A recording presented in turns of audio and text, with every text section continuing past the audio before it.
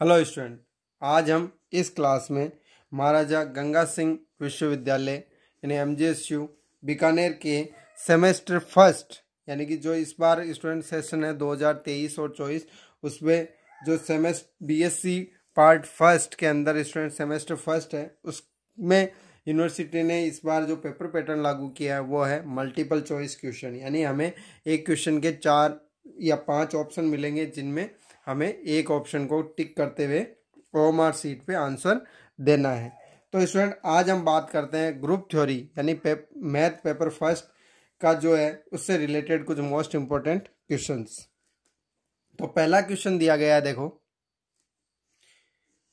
Question number first बीजीय निकाय जी star तो स्टूडेंट यहाँ पे जी क्या है? समुच्चय है और स्टार उसमें संक्रिया।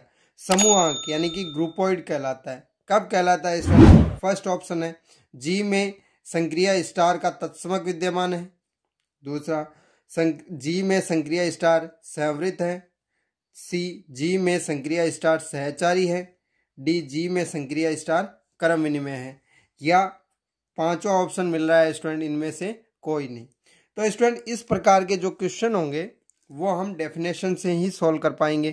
तो जो हमारे पास स्टूडेंट, पेपर फ़र्स्ट है समूह सिद्धांत या ग्रुप थ्योरी का मैथ का, उसमें हम बात करते हैं स्टूडेंट कि सबसे पहली डेफिनेशन ही आती है हमारे पास समूह ग्रुप पॉइंट तो ग्रुप पॉइंट क्या होती है स्टूडेंट कि यदि हमारे पास कोई समुच्चय है जी तो स्टूडेंट हमें यहाँ परिभाषा से तो समुच्चय जी है तो जी के अंदर कोई स्टार संक्रिया, द्विआधारी संक्रिया हो। क्या हो स्टूडेंट द्विआधारी। द्विआधारी संक्रिया का मतलब क्या होता है यहाँ पे कि हमारे पास कोई भी दो अवयव हो किसके? जी समुच्चय के।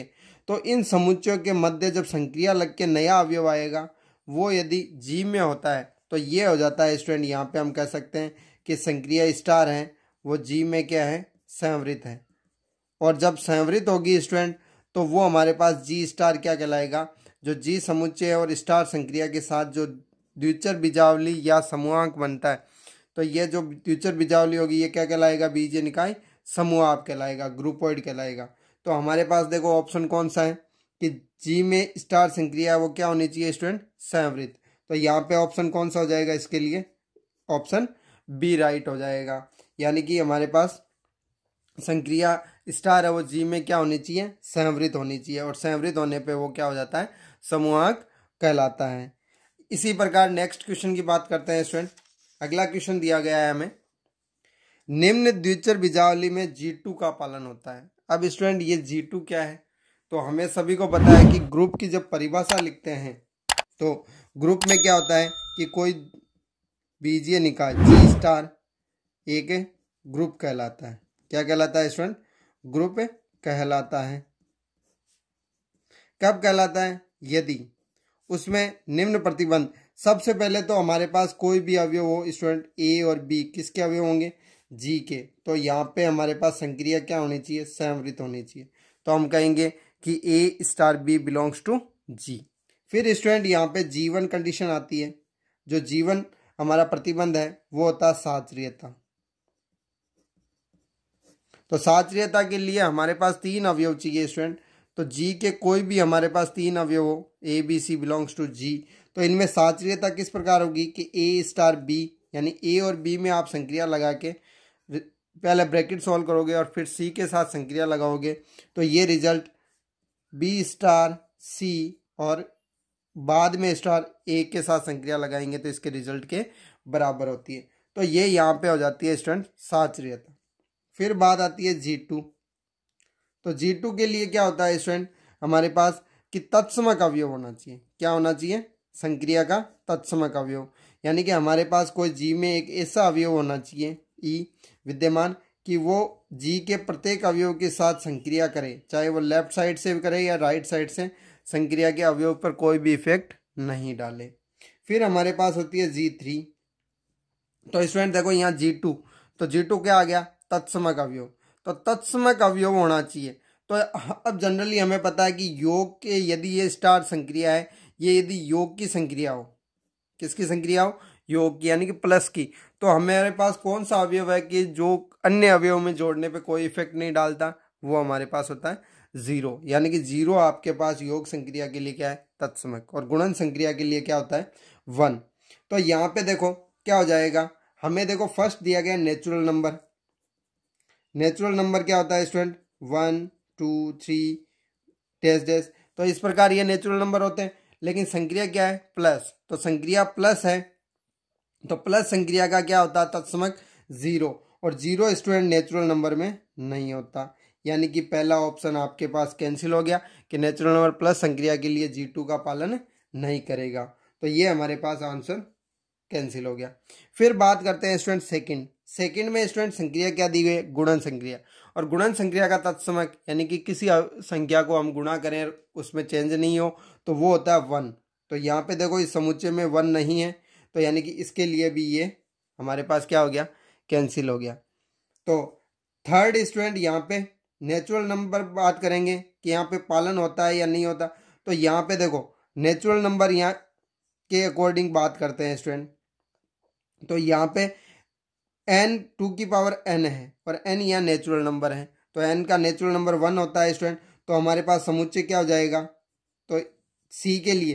तो सी समुच्चय क्या बन जाएगा स्टूडेंट टू की पावर वन, टू की पावर टू टू की पावर थ्री, डैश डैश।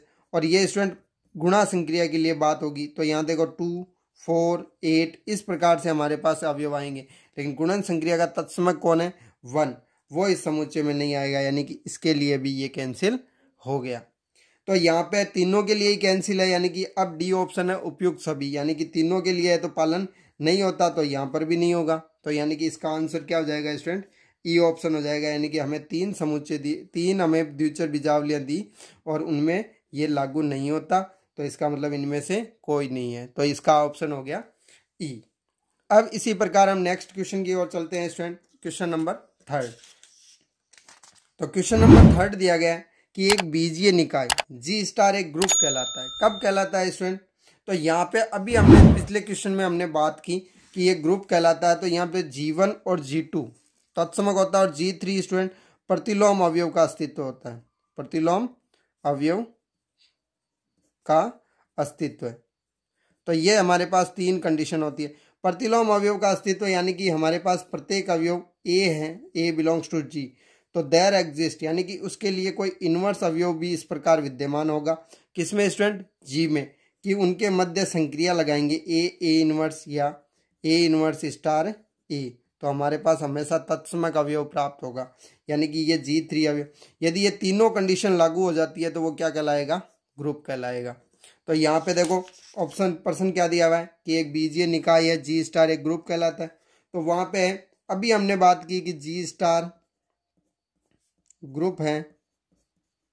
तो तीनों कंडीशन यानी कि जी वन भी लागू होना चाहिए जी टू भी लागू होना चाहिए और जी थ्री भी लागू होना चाहिए। यानी कि तीनों ही लागू होने चाहिए। तो देखो, पहले ऑप्शन में जी वन जी टू का पालन हो, सही है। लेकिन जी थ्री भी होना चाहिए। बी में हम केवल जी थ्री का पालन हो तो नहीं जी वन और जी टू का भी पालन होना चाहिए। सी ऑप्शन में जी वन और G four G four student यहाँ ग्रुप के लिए आवश्यक नहीं है। D option G one G two G three का पालन हो। यानी कि ये हमारे पास क्लियर ऑप्शन होगा इसका डी आंसर और ई e तो वैसे ही नहीं है। तो ये हमारे पास क्वेश्चन नंबर थर्ड का आंसर क्या हो जाएगा?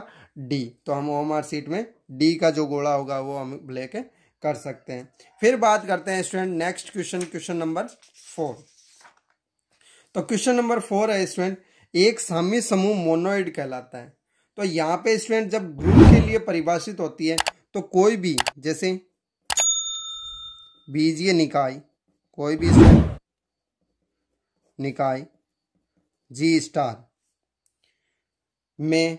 अब स्टूडेंट यहाँ प्रतिबंध यदि जी फ़र्स्ट जी फ़र्स्ट क्या होता है स्टूडेंट साचरियता तो साचरियता में स्टूडेंट जी के अवयव कितने चाहिए हमें? कम से कम तीन अवयव चाहिए। बिलोंग्स टू जी क्या होता है? A star B star C यहाँ पे हो जाएगा A star bracket B star C तो यहाँ पे स्टूडेंट जी क्या कहलाएगा? यदि केवल जीवन कंडीशन ही लागू होती है तो वो कहलाता है सामी समूह क्या कहलाता है स्टूडेंट सामी समूह कहलाता है। जी, सामी समूह है। लेकिन उसने कहा कि ये सामी समूह है, इसका मतलब ये जीवन है, वो ऑलरेडी यहाँ पे लागू है। उसने कहा मोनोइड कब कहलाता है? तो जब जीवन आ जाता है स्टूडेंट तो फिर कंडीशन आती है जी टू जी टू होते हैं हमारे पास तत्समक अवयव का अस्तित्व है। का अस्तित्व है। तो तत्समक अवयव का अस्तित्व है स्टूडेंट तो यहाँ पे हमारे पास कौन सा हो जाएगा? जी टू तो यहाँ पे जब जीवन हो तो ही स्टूडेंट जी टू लागू होता है तो यहाँ पे हमारे पास प्रत्येक के लिए कोई तत्समक अवयव ई होगा, वो इस प्रकार विद्यमान हो कि प्रत्येक ए बिलोंग्स टू जी के लिए A star E equal to E star A यानी लेफ़्ट और राइट से मल्टीप्लाई होगी संक्रिया लागू हो तो भी उस अवयव पे कोई इफ़ेक्ट नहीं आए। तो यहाँ पे हमारे पास जी क्या कहलाएगा? जी कहलाता है मोनोइड क्या कहलाता है स्टूडेंट मोनोइड कहलाता है। यानी कि जीवन सामी समूह है, उसके बाद में जी टू कंडीशन लागू हो जाती है तो जी क्या कहलाता है? मोनोइड कहलाता है। तो यहाँ पे स्टूडेंट हमारे पास देखो ऑप्शन क्या है? जी टू का पालन हो, यानी कि यही ऑप्शन है। जी थ्री का पालन हो जाए तो नहीं, जीवन बाय फिर जी टू का पालन जी थ्री का पालन होने पे वो हो जाता है ग्रुप जो हमने अभी बात की थी। तो ये भी नहीं होगा। फिर जी वन भी नहीं है, और G one G two G three इन तीनों का पालन होने पे तो ग्रुप हो जाएगा मोनोइड थोड़ी रहेगा। तो यहाँ पे हमारे पास किसका पालन होगा? केवल जी टू का पालन। यानी साम्य समूह है इसका मतलब जीवन तो ऑलरेडी वहाँ पे लागू है। लेकिन जी टू पालन हो रहा है साथ में तो वो क्या हो गया? मोनोइड तो इसका ऑप्शन हो गया ए जी टू का पालन हो। तो ये हमारे पास स्टूडेंट आज की क्लास के लिए इतना ही। चार क्वेश्चन थे। अब नेक्स्ट क्लास में और और अदर सब्जेक्ट और मैथ सब्जेक्ट के हम और क्वेश्चन लेके मिलते हैं। तब तक आप पढ़ते रहिए। Thank you